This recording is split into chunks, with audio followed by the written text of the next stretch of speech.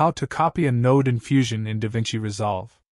To begin, I added a background, a text, and a merge node to the composition and I'm on the Fusion page. Select the text node and press Ctrl plus C to copy the node, then press Ctrl plus V to paste it. This will create a copy and merge it with the original node. Now we can change the styles of the duplicate node.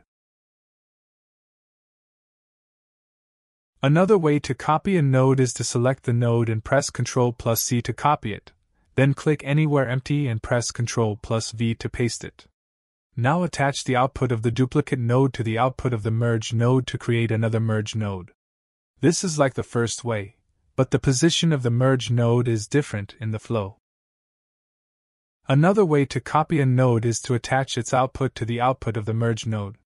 This will duplicate the node, but the duplicate properties are stored in the second merge node and not in a separate text node.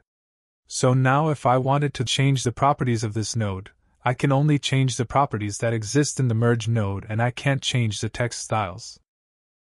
We can create other duplicates of this node as well. The good thing about this method is that if I change the text in the main text node, all the clones will change as well. If I drag a rectangle mask node and attach it to the third merge node, it will only be for the third text and not other texts. Anyway, guys, thanks for watching, and I hope you found this useful.